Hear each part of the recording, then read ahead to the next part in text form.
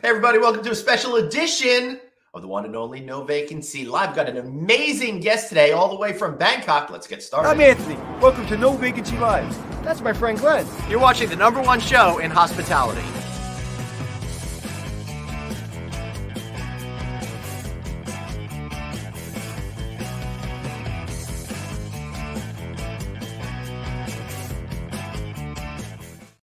Hey everybody, welcome back to No Vacancy Live. I am Glenn Haussman. Anthony Melchiorri is on assignment today, but we are doing this special episode. It's recorded because our guest is in another continent, all the way over there in Asia. In order for us to uh, make this work out without him having to stay up in the middle of the night, we are doing this uh, pre-recorded. Our, our guest today is the CEO of lebua Hotels and Resorts, which has great luxury high-end properties in Bangkok and India. Take a look at this right over here uh, is the Dome property. We're going to get right into it, but we're going to talk a little bit more about hospitality. We're going to talk about life and philosophy and how creativity meets innovation. And that's the whole thesis behind A Bridge Not Too Far by uh, Deepak Ohri. So let's welcome into the show right now. Deepak, so wonderful to see you. Welcome. Thank you, Glenn. Really appreciate you doing this. I feel humbled and honored. Really appreciate. Uh, I really appreciate you folks sending me the book, uh, which I read. We're recording this on a Monday, and I, I digested uh, 95% of this uh, over the weekend. I got a little bit left to, to go, but I got an, I know enough now, Deepak, to be dangerous. Um, and uh, I think it's really this whole story is really interesting because it covers your journey, right? Uh, your journey from how, in my opinion, you kind of looked at things differently than everyone you were around. First, your peer group growing up, then later on, folks that you were working with. And that to me is a valuable, valuable lesson because so many of us seem to want to conform to what we think we should be doing as opposed to following our gut and our instinct to really be out there and innovate and recreate our own kind of journey. Did I get that right, Deepak? Definitely right. And I would like to add something here, Glenn. Yeah. It, it started, the whole book started as a memoir. Mm-hmm. But the way it is written, it became the marketing book. And it became the book, uh, like Dr. Philip Kotler, father of modern marketing, has mm-hmm. recommended this as one of the five books in year 2023 to read. Uh, uh, it has become the part of curriculum at the Florida International University for the graduate students and for the executive MBA and for the entrepreneurship students. Wow. And the reason it has become a marketing book is because in this journey, what I've learned in a very simple language, I am sharing those experiences and telling people that experience over expertise matters in today's world. Yes. Right. Experience. I love that. And of course, uh, when you're talking about FIU, too, about uh, uh, Dean Michael Cheng, right? Over over there. Yeah, yeah, uh, Michael Cheng, yeah, but he's in the hospitality school, so I'm talking about the graduate school. But yes. I'll be visiting Michael Cheng. He's a great guy. Yeah. He's a great right, cool. All right, so let's talk about uh, experience um, and and how that kind of melds with the thesis that I'm talking about. Experience is so important because that's really what people are looking for. And one of the things, uh, Deepak, that we've been talking about here on No Vacancy Live, and for a good chunk of my career now, is since the Great Recession in 2007, 8, 9 range, I really feel we've moved from that materialist economy to more of an experiential experiences uh, economy that rules. Uh, you were kind of at the forefront of that many, many years before we even really kind of made it a thing, right? You kind of had that vision before other people were really seeing that. Was is that correct? Yes. Uh, see, uh, my life has uh, turned me uh, in a very different manner in this whole thing. So what has happened is that uh, when I was growing up right. in India, what mattered the most was expertise. Because at that point of time in India, if you're not a doctor, if you're not a computer engineer, and if you're not a scientist or a mechanical or electrical engineer, you have not done anything in your life. Right. And I started hospitality. And hospitality at that point of time was a different world. And why it was a different world? Because while I was studying hospitality in India, we were taught that broccoli is a green color cauliflower smaller in size. Right. Right. All right. So this is why I'm glad I had a chance to uh, read the book because you were a product of your community. You had not really seen the outside world. So when you talk about broccoli, you really didn't know what that was from a tactile perspective. You hadn't really tasted it. So um, in the book, you make very clear that you thought that it was just a, uh, you know, like just green cauliflower or something like that. But it's something completely different. And that kind of has informed you on experiences throughout, correct? Yeah. So I think uh, a lot of things uh, I've learned in the experience part. The most important thing in experience part I've learned, and that goes not only for hospitality, but for any other businesses about FOPO, fear of people's opinion. Yep. And how do you convert FOPO into ROPO? That is the yep. most important experiential part. Mm-hmm. So much so, I've learned about experience that today I am teaching at FIU, and what I'm teaching is experiential education. Also, I'm working with CIBER. They are 15 CIBER Center sponsored by Department of Education, and I'm teaching experiential immersions to the professors. But how come someone coming from the hospitality go to the graduate school professors are teaching experience? Is because I had a lot of experience dealing with people. Right. So we become smart when we meet a lot of people. We learn from them. So at the end of the day, we learn from each other. Yes. So that, that so this clearly shows that how important every individual, every person we meet. See, whatever we touch today touches us also. Yes. Yeah. And I, that's why I urge everybody who's watching this show that please touch positivity and happiness.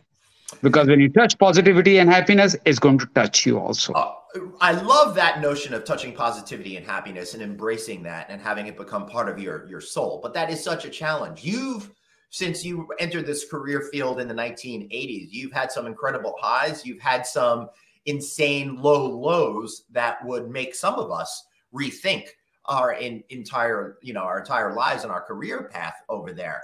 Um, what is it within you and something that you believe is within all of us that could get us out of the point of view that the world is controlling our experience as us being able to master our experiences within our world. When I was six year old, when uh, during that time one road would divide rich and poor, I crossed the road right. and I experienced the Coca Cola. And first time in my life, I saw a bedroom with the attached bath. Right. And the innocent question I asked to the owner of that house is that when you get out of this, get up from this bedroom, do you enter the washroom without waiting in a queue? Or do you have to stand in a queue? And he laughed. He said, No, that's yours. You enter it. Yeah. And, and, and that told me something in my life that you don't experience anything in your life till the time you have the courage to cross the road. Right. Right. And in your case, it was a literal crossing the road with a, a family that was wealthier that exposed you to new things that was across the uh, the street. Um, yes. Uh, but then you're also talking about the non-literal sense of it and crossing your, you know, the world to get out of whatever psychologically is keeping you back from making those changes. How on earth, growing up poor in a village in India, did you combat everyone that was around you and said, I'm going to get out of this. I'm going to go to Thailand and or Singapore. I don't remember which came first. Um, uh, Singapore came first. Singapore came first, where you uh, worked at the restaurant. Um, yeah. How did you get the guts to go ahead and take such a big chance when you had had you didn't even know what broccoli tasted like, and here you're going to go to a foreign country? What was that experience like for you, and how did you get yourself in the right head to accept that this is what you had to do to be successful? So that experience I got uh, not because of me, but uh, my ex bosses helped me to move to Singapore.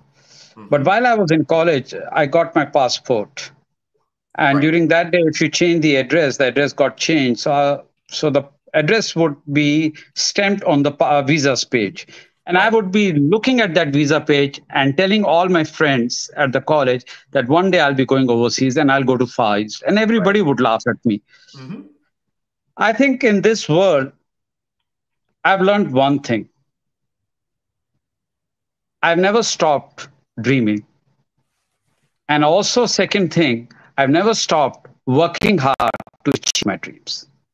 And that is very important for everyone dreams are to be dreamt, provided you work hard to achieve it. Right. Because in this universe, the most important part that stays with you is your unconscious and conscious mind. And I condition my mind in a way that I work hard to achieve. I dream of impossible and I achieve it. When I was writing the book, I was told that my book may not be published because there are many writers who write the book, but they do not get to publish their work. Uh, I was told I would never go overseas. I went overseas and I faced a lot of challenges. I didn't even know how to say 7 Eleven. I would say 7 to 11 and people would laugh at me. But like I am right now. But yeah, it's yeah, funny. I, the, the restaurant I was working, I got a booking from a company called JP Morgan, mm-hmm. and I wrote in the booking, Mr. Morgan, two people. And everybody right. laughed at me because to me, I didn't know JP Morgan is a bank. So I thought right, Mr. Morgan is an individual. I wrote that name and did the booking. But hey, to be fair, you know, Deepak, JP Morgan was an individual. You were just 100 years too late. That's all. You know? yeah. yeah. So, but but the part is all these mistakes were lack of experience or exposure. Yeah. They were not lack of an individuality and they were not the lack of the confidence. Mm-hmm. And when people laughed at me, what I didn't have was the fear of people's opinion. Right. Yeah. That, and that is what helped me I, just want to talk about that for one minute, Deepak, because sure. this is so important. I think so many of us, and now that you know, I'm, I'm uh, in my early 50s, I've realized that people's opinions never mattered. But when I was a young professional in my 20s, I was so consumed with what other people thought personally and professionally that I probably missed out on a lot of opportunities because I got myself into a negative headspace worrying about what others were thinking was as opposed to being true to myself. How did you find that place to not worry about other people's opinions when you're younger and impressionable and it feels like maybe it's American culture, I don't know, but everybody's opinions mean so much more when you're younger. I think uh, I, I, did mention about experience. Uh, yeah. My first job, I became the executive assistant to the senior vice president hotels, mm-hmm. and then he resigned. And I right. saw how people change. Mm-hmm. When he was in position, how people would approach me, and when he resigned, how people would look at me. And that taught me something very important in life. Mm-hmm. People don't matter. Right. Their opinion don't matter. Mm-hmm. What matters is your confidence and your ability to pick whose opinion matter. Yep. Yes. Uh, so, and, how do you know whose opinion matters and who you should not follow because it's going to trample your your dream or goals?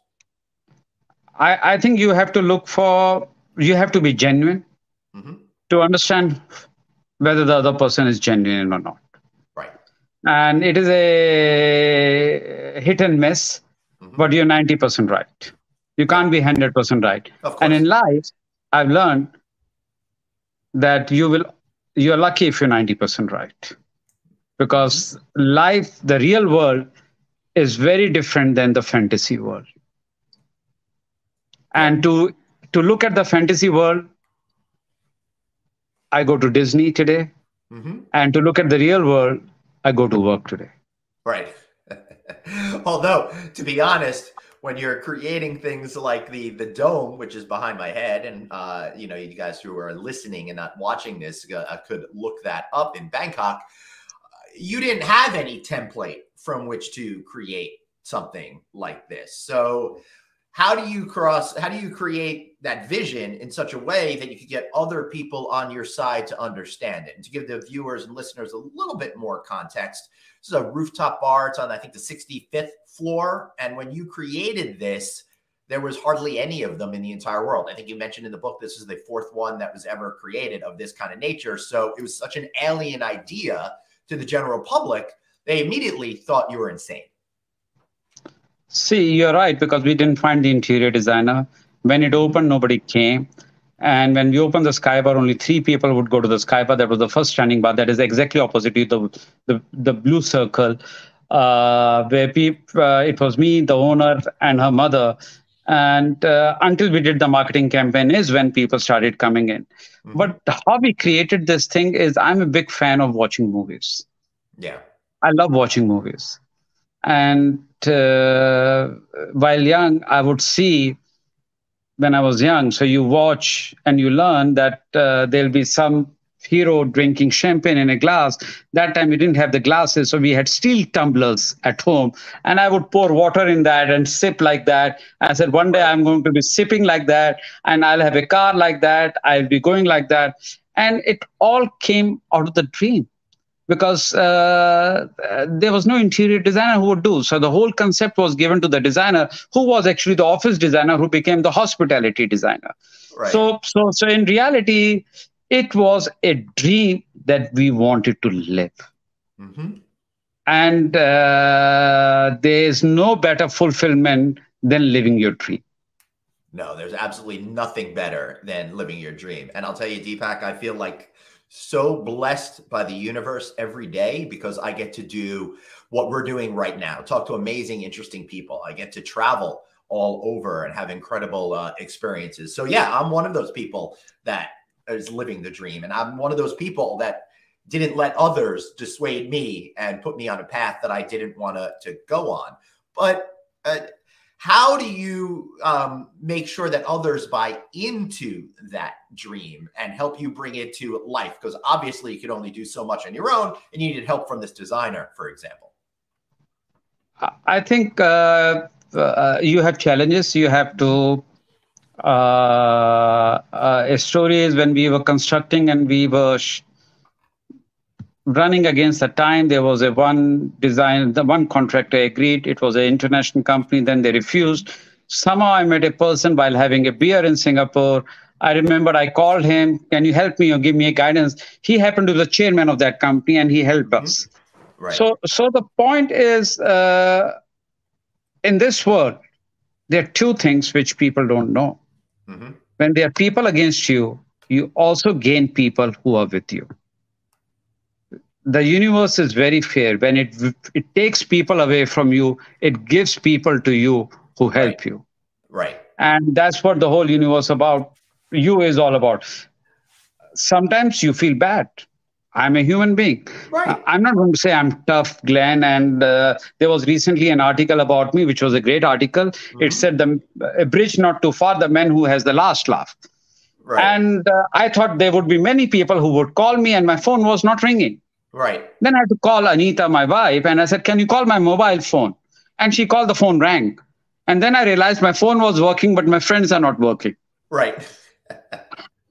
so so so so so that's the correction that takes place there mm-hmm. so in life life is never of gain when yeah. you gain life life is you know means it's like a a body you take something you have that much of space in the body so yeah. so when you lose something you gain also something when you gain something you lose something it's vice versa and one right. should one should be mindful of this one should also know that if you have, it's your duty of dreaming, and more important duty is to achieve your dream.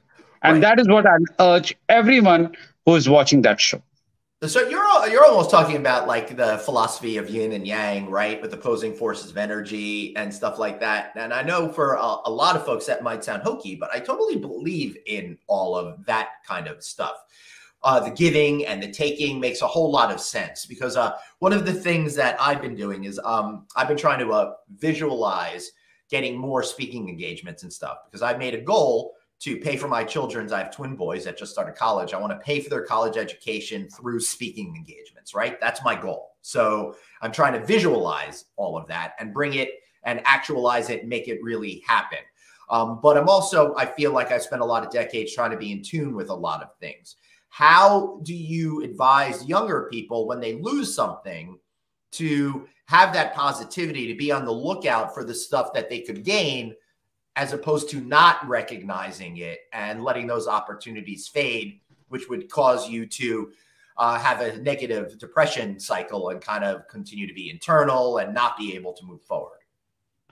The most important thing the young people should remember is they should never lose their self respect Second, they should have confidence in their own self. Right.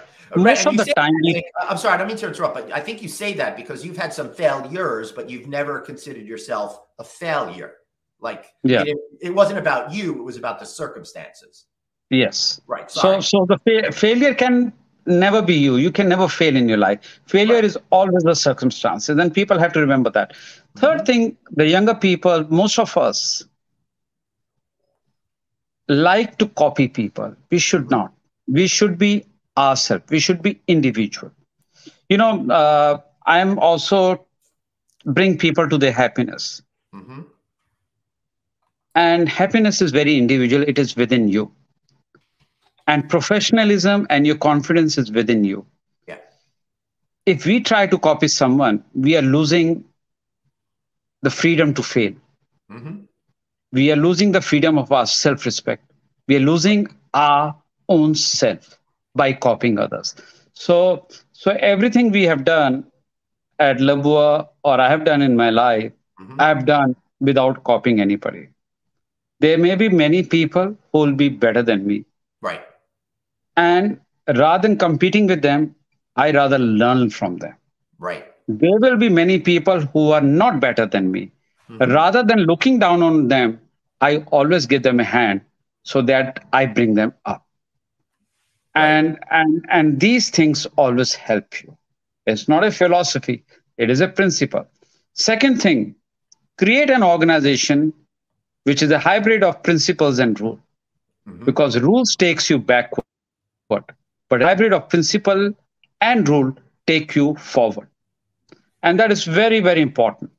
Could you give us an example? Principles, I, I gave a very good example of principle that in our organization we had this principle that we trust our employees mm-hmm. in a hospitality everybody has we are not the first organization right. and we are not the last organization who says that we trust our employees mm-hmm. but here is the catch we say now when i say that we are the f- one of the few organizations in the world right that do not hire mystery auditor to come into our premises. Why? Because if we trust our employee, we don't need to send someone without telling our employees that we are checking on you. Mm-hmm. So what we do is we work along with our employees and our customers and create a customer satisfaction survey right. so that everything is open and we work with them. And the result is post COVID, our quarter three 2022 results and our January 2023 result. We have never done so well in the 20 years of history. It doesn't mean that we were doing bad. Of course, we did bad only for two years. That was the COVID year. Yeah, of course. But when, but we never fired anybody. The employees could see that we trust them. The power of being a team, that power of that happiness and power of that positive attitude can defeat anything and achieve anything in the world. Uh, and let me tell you, you have achieved some incredible things. For example, uh, world's best hotel restaurant, Mezzaluna, at the World Culinary Awards 2022. It also won Asia's best hotel restaurant. Uh, Chef's Table won Asia's best landmark restaurant. You've got two Michelin stars at Mezzaluna, two Michelin stars this year at Chef's Table, a Michelin star uh, sommelier award um, in at the Michelin uh, for the Michelin Thailand uh, sommelier. Pretty incredible that you're working at such high standards how do you get how do you keep doing that year after year to ensure you stay at those high standards without you know going crazy in those little details which add up to so much glenn i'm afraid of pain mm-hmm. in my position chief happiness officer ceo mm-hmm. or this title position in any organization we are there not because we are geniuses Mm-hmm. We are there because we have the more endurance of pain than other people who are working in the same organization. Right. Having power with you and trying and keeping that, how do I say, uh, control over yourself, not to misuse that power, gives you a lot of pain. And and failure, I've seen bigger failures in my life. And that mm-hmm. pain that comes with those failures is unbelievable. Yeah. And when you know that that pain is going to be very, very painful pain, you work very hard not to go to that path again. Right. And that's what keeps you awake. That what keeps you motivated. It is not that I am afraid to fail. I am afraid to fail the team that is believing in me. Right. More than I'm afraid to fail myself. So when that is the endurance of pain. Because when you become senior, when you have a lot of people working with you, it is never about yourself. It is about people who are there with you. It is mm-hmm. always about the people. It is also about the customers who believes in you because right. you don't want to fail them also. And that's what makes you do the right thing. Right.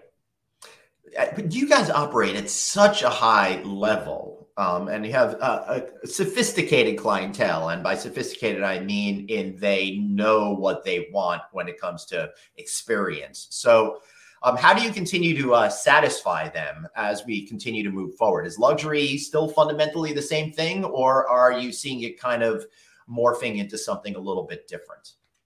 So, so I'll answer your question, Glenn, and a very good question. Thank you for asking yeah. this in two parts. Mm-hmm. The first is at lebua, we do not have a training and a marketing department. Mm-hmm. And we have outsourced this. Yes. And you know who we have outsourced to? Nope to our customers. Ah, I thought you were going to say that. you knew that? I had a feeling, but I didn't want to say it and embarrass myself. so, so, so we have outsourced that to our customers. Yep. So they tell us where we lack because there's no way three people in a training department can dictate a multicultural society of employees and customers. Right. So they tell us where we want to improve. And if we give them a great expression a great experience, which is the equivalent of luxury.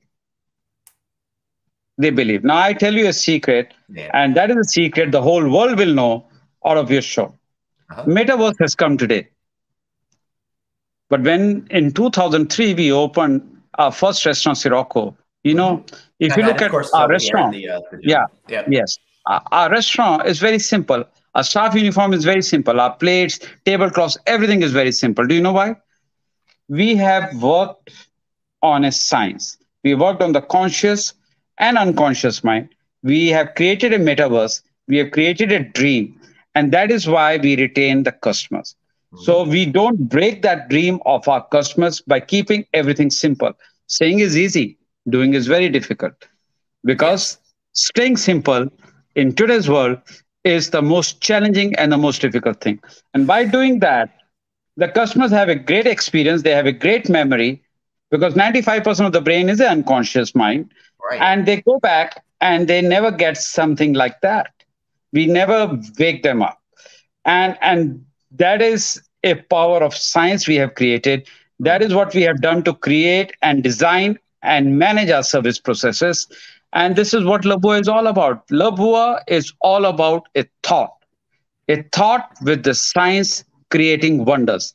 We created something, added that with innovation, and where innovation was not possible, we improvised. Fascinating. All right. So tell me a little bit um, more about how you are able to focus on keeping things simple because in a lot of things in life you know we have an expression here don't overcomplicate things people tend to do that right because we feel like we need to keep doing stuff but it must take an insane amount of discipline to keep it simple so it's relatable and you're able to keep delivering that that high level of service and experience. So what kind of mental checks do you do to make sure that it doesn't get out of control and become unwieldy? I, I think over a period of time, we have uh, created a clientele that is very elegant, that is very mm-hmm. polished, and they like simpler things in life. And uh, let me explain it to you in a very different example. Please. Have you ever been to a zoo or a night safari? Mm-hmm. You have. And have you ever I've watched not been to a night safari, but I do want to go to Singapore because I hear they have a great night zoo. Yeah. So you have been to a zoo. Have you ever been to a watched a Discovery Channel? Of course. On a wildlife. What's the difference you see in a zoo and a Discovery Channel? Uh, you see an edited version that's pristine on TV, but if you're actually at the zoo, you see what the reality of it is. Usually, a bunch of animals sleeping. so very well said, but I put it simply. Yeah. yeah. Uh, what you see in a zoo is what you see. But what you see at the Discovery Channel is you discover. Right. Because they don't show you the things what you see in the zoo, but they show you something which is you are discovering. And mm-hmm. today the customers wants to discover. Yeah. That's... And when they want to discover, everything else has to be neutral and simple. So when, so when somebody coming to your yeah. hotel, mm-hmm. a city hotel, the guest in a city hotel anywhere in the world, besides sleeping time, do not stay more than four hours in a room. Mm-hmm. When the guest is coming to your restaurant, if it is a fine dining, it is we are talking about 120 minutes. Otherwise, it's 90 minutes. So we're talking about 120 minutes. And he is engrossing in a conversation with his colleague or anyone. Very rarely the person is alone. And when he's doing that, he wants things to be very simple. Mm-hmm. And that is what we create through our design and management of service processes. Excellent. The last thing I want to ask you uh, about before we wrap up today is uh, the book really starts about how your roots affect your point of view in the uh, entire world. How can we utilize our own points of view from the way we were raised, the culture we were in, maybe the religion we were brought up, the foods that we taught that we eat, to kind of shape how we're going to go forward, both relying on the way we grew up, but also being open enough to expose ourselves to all of these amazing things around the world that we may not be familiar with. Roots are, Glenn, very important. And the world is going vegan, so roots are becoming more important. That was a joke. Yeah. the vegetable. Yeah. But what I'm saying is roots are very important, irrespective of the religion, yeah, right. irrespective of the culture, irrespective of any part where because what roots tell you is keeps you grounded. Because many times where i have failed i failed because i forgot who i was and i became arrogant and i became somebody. It was difficult for me to recognize who i was and then i failed. Right. It should never happen that you should not know who you are. And the essential part of knowing who you are is your roots. Mm-hmm. yep. And I think that's so that's so important to completely embrace who you are and be okay with that. Right? I mean, that's a yes. that's a big thing, I would think, because if we don't embrace who we are and where we're from, then we might not have as much confidence going into a situation, which could lead us down the road of copying other people instead of focusing on what we know is true internally and that'll keep us from building our career and innovating all of those things that you've managed to do so successfully. Yeah. Beautiful. So, how can we find the book?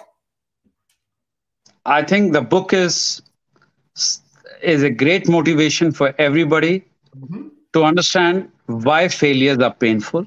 Yep. The book is a great read for people to understand not what Deepak Ohri is all about or what creativity and innovation is all about, this book is everybody's story. Yes. In one way or the other. So I urge everyone to read it. And what this book tells you to stay humble and help people who you can help. So we should always help. And when we help and when we educate people, this world will be a better world for our future generation and for our future leaders. And this is what we are living for. And this is what, as a professional, we need to do. Because the better future is not a bridge not too far. Beautiful. I love it. Deepak Ohri, thanks so much for being here. I really appreciate it. And we'll uh, hopefully get to see you again soon sometime. One day, my goal is to get to uh, Bangkok and maybe have a drink. Oh, I'm looking forward to meeting you, Glenn. Thank you One so day. much. One day. One day. Thank you, sir. A bridge I- not too far. I see you in Bangkok. I love it. It's not a bridge too far, especially since there's so many more flights these days, right? Everything's back to uh, the way it used to be. Make sure you get out there, travel, have those new experiences. But most importantly, the lessons that we learned today. You really need to trust yourself. Know who you are. Don't let others out there influence the decisions that are going to be a big deal in your life. The world is filled with a lot of people that are going to tell you no but it's important. It's essential to keep that spirit of yes alive with you in order to continue to be successful. And that's why I love reading A Bridge Not Too Far, all about where creativity, creativity meets innovation. Again, find that at Amazon.com. Speaking about finding things, why not give us a listen? You can find us at Apple Podcasts, iHeartRadio, Stitcher, SoundCloud, wherever you get your shows. We are there. And of course, if you're listening to us right now, why not give us a watch? Find us on LinkedIn, Facebook, YouTube, and of course, all shows are at novacancynews.com. Thanks so much for being here, everybody. Remember, you've got one life, so blaze on. And thanks for thanks for being here. We'll see you tomorrow.